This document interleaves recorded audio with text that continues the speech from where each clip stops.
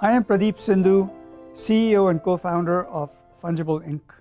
Let's begin by recounting the top data center problems today. Number one is that power and space footprint of these data centers is way too large. Second, there are way too many server variants. And as a result of these variants, there's a lot of complexity in managing data centers. Also, volume economics suffers as a result of all these variants. Finally, security is either weak or expensive or both. Now we can trace the root cause of all of these problems to an outdated compute-centric server architecture. The fact is that in 1987, CPUs were some 20 times faster than networks. And it made complete sense to put I.O. drivers in x86 software. Well, if you fast forward to 2020, CPUs are some 30 times slower on a per core basis than networks. And I.O. drivers are still largely in software inside the operating system.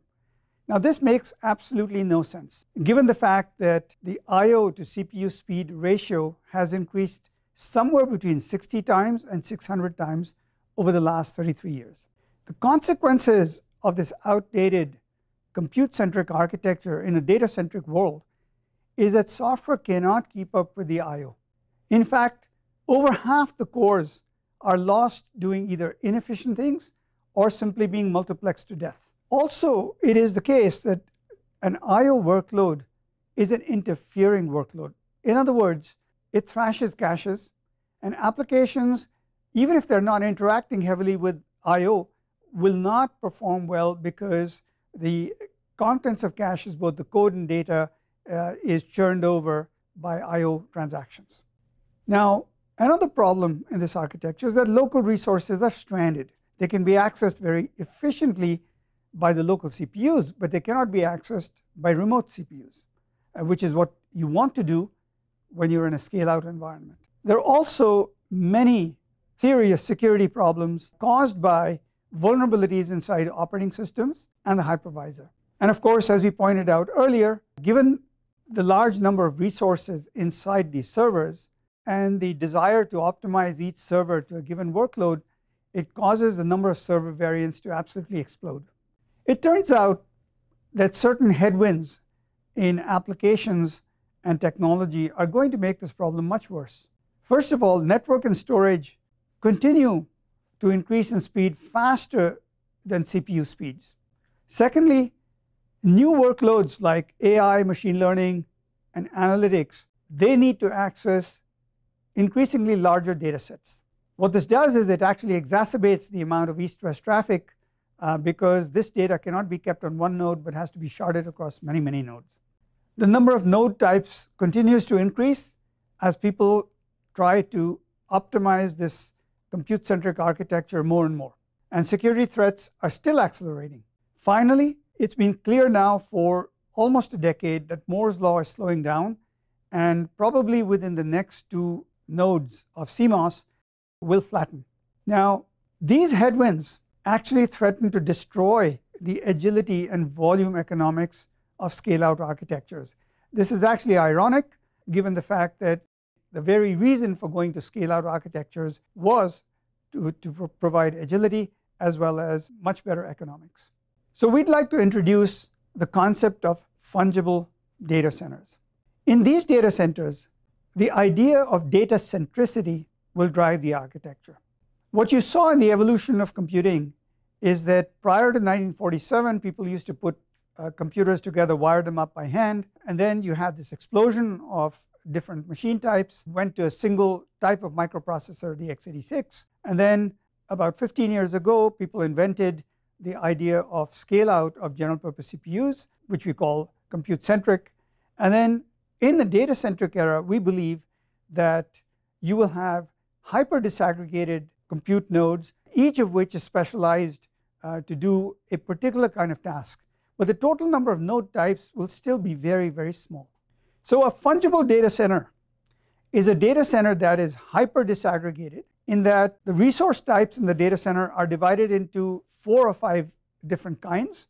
And the, the server nodes that implement these resources are separated by a high performance fabric that we call true fabric.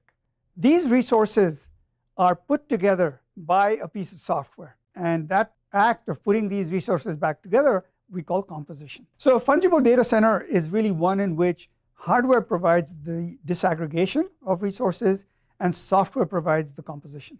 You might be wondering if hyper disaggregation is so interesting, why has it not happened up until this point? Well, the reason is that the current compute-centric architecture poses two fundamental problems. And neither of these problems has been solved prior to fungible coming on the scene. The first problem is that data interchange between server nodes in a data center is inefficient. Second problem is that the execution of certain critical data-centric computations inside server nodes is inefficient. Now, it's important for us to talk about the definition of what a data-centric computation is in order to be precise. So by this definition, data-centric computation is one where all work arrives at a server in the form of packets on a wire. And packets from many, many different contexts are intermixed. I.O. dominates arithmetic and logic, unlike regular applications. And then finally, this workload requires modifying large amounts of state. The fungible DPU solves both of these problems and also provides fundamental improvements to agility, security, and reliability. A good way to look at the fungible DPU is that it is an infrastructure processor, the third socket. There are two types of applications processors already in data centers. One is called the CPU, and the other the GPU. And these two microprocessors are responsible for running applications, but they don't perform infrastructure workloads efficiently. Examples of these infrastructure workloads are the network stack, the security stack, the storage stack, and the virtualization stack. The fungible DPU, on the other hand, is designed to do just those applications and to do them much more efficiently than either CPUs or GPUs, and perhaps as much as 10 to 20 times more efficiently. So what's very important to say is that the fungible DPU is able to do these things without having to change a single line of either application code or operating system code. Secondly, the fungible DPU also comes with industry standard interfaces. So in fact, uh, insertion is uh, very easy. And finally, because the fungible DPU is fully programmable, we don't compromise uh, anything at all. We also provide agility.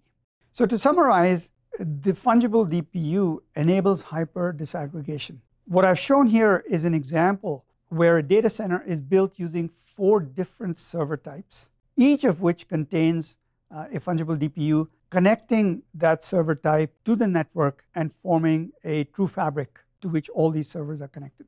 The first server type is a general purpose x86 with DRAM and a DPU. The second one is a high performance storage node with SSDs and a DPU. The third one is a set of JBODs and a DPU. And the last one is a GPU server, an AI or ML server, which has some number of GPUs and a DPU. Now you can see that with these four building blocks, uh, I can make an entire data center by replicating each of these node types uh, by the appropriate number of times. As I mentioned, hardware is responsible for hyper disaggregation, but it is software that enables composability. So the key element that enables uh, data center composability is what we call a fungible data center composer. This is a piece of centralized software whose job it is to understand all of the resources that are available in the data center and then to combine these resources into what we call bare metal virtualized data centers, which are kind of ships in the night that operate exactly the same way that a physical data center would operate with the same levels of performance. But the important thing is that these bare metal virtualized data centers could be stood up in less than a few minutes, and you could increase and decrease the resources that are inside these as you like. So what you get as a result is a simple standardized infrastructure with no wasted resources. You also get very rapid deployment, essentially one-click deployment from a marketplace of virtualized resources. And you get an infrastructure that is enabled uh, for multiple tenants where these tenants are separated by very, very strong security guarantees. Let's turn next to the value proposition of a fungible data center. Fungible data centers have the potential of providing TCO improvements up to 12x.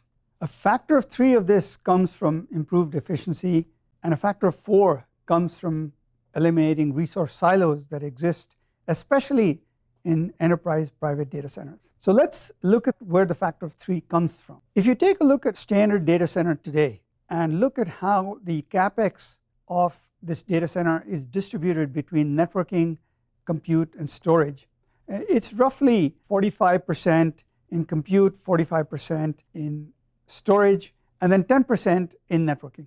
Now, what the fungible DPU does is it improves the network economics, in fact, the price performance, uh, by a factor of three, because it enables us to run the network at least three times more efficiently than standard uh, TCP IP, where you're using ECMP as the technique for sending packets from one node to another node.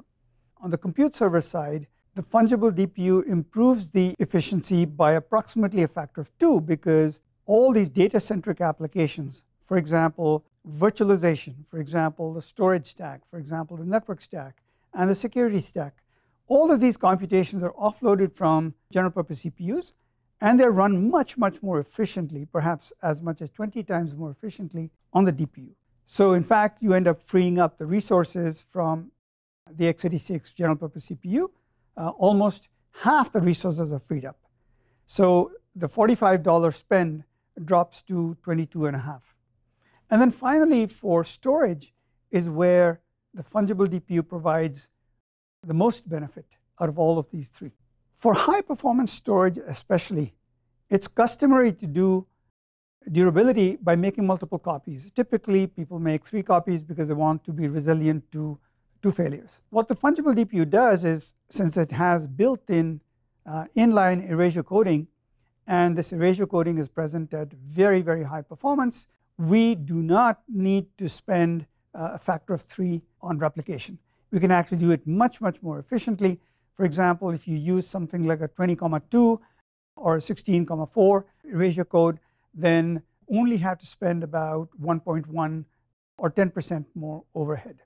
So that saves you almost a factor of three. The fungible DPU also has inline compression, which is lossless, of course. And this lossless compression algorithm compares with the best algorithms uh, which are known, uh, which run in software with very, very large histories. So we get a compression ratio anywhere between a factor of three and sometimes a factor of eight or more.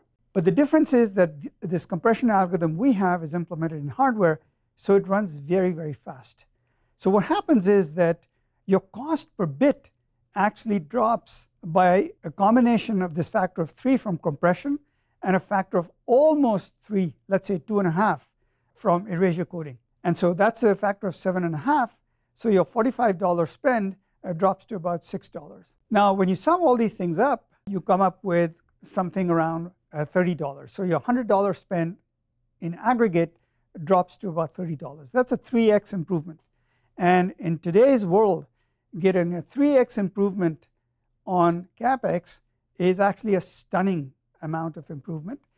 But what is more, this same level of improvement will also be seen in the power consumption portion of OPEX. Now these improvements do not take into account uh, the potential uh, benefits you could get by deduplication. That is of course something that will come on top. Now I mentioned earlier that you get almost a factor of 4 by removing resource silos by doing hyper disaggregation over a true fabric. Well, where do I get these numbers from? If you take a look at hyperscale deployments, typically they run at utilization somewhere between 30% and 40%.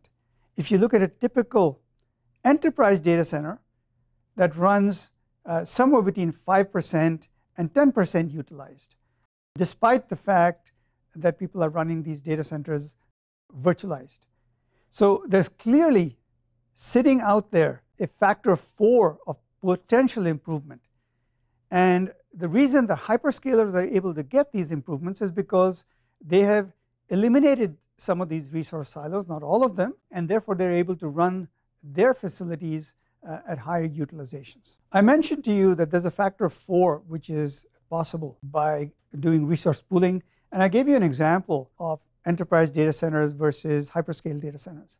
Well, there's another way to look at this, which is if you go back to uh, Peter Denning's PhD thesis, he actually proved that under fairly liberal conditions that if I have n resource silos and I eliminate these silos and combine that resource into a single pool, you can get a benefit of almost the square root of n. And so that's another way to look at how uh, pooling provides resource efficiencies.